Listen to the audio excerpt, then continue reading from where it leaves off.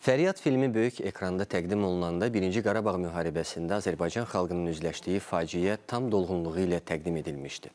Bu mənada rejissor öz yaradıcı məqsədinə nail ola bilmişdi. Vətən müharibəsində qələbədən sonra kinorejissor Vagif Mustafayevin Fəryad 2 filmi işıq üzü görəcək. Artıq çəkilişlər yekunlaşıb.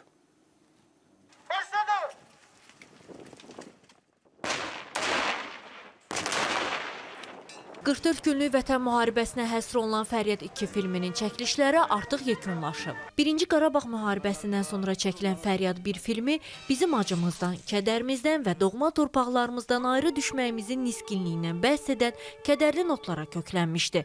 Ancaq ikinci film isə tamamilə başqa məzmunludur. Bu dəfə ekran əsərində şanlı tariximiz, güclü və məğlub edilməz ordumuzdan danışılır.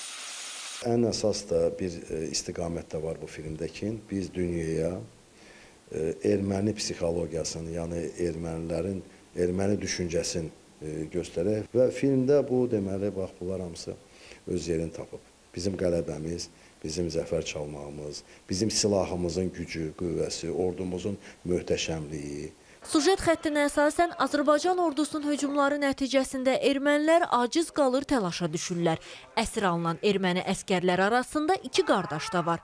Qardaşların sonraki aqibəti tragikomik janrda olan ekran əsərinin əsasını təşkil edir. Birinci Fəryad filmdə başrolda Ceyhun Mirzəyev çəkilsə də... İkinci Fəryad, Fəryadda başrolda ə, Hikmət ə, Rəhimov belə bir gözəl aktyor var, ə, istedadlı aktyorumuz var, o oynayıb.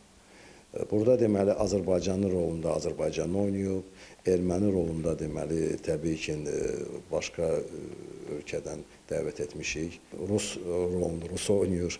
Birinci Fəryadda belə imkanlarımız yox idi. Ona görə Məlik Dadaşov rəhmətli erməni rolunu yaratmışdı. Filmin treyleri noyabr ayında qələbənin il dönümünə kimi hazır olacaq. Tamaşaçılar isə filmi dekabr ayında izləyə biləcəklər. Maya Sabir qızı İlqar Abdullayev, İTV Xəbər.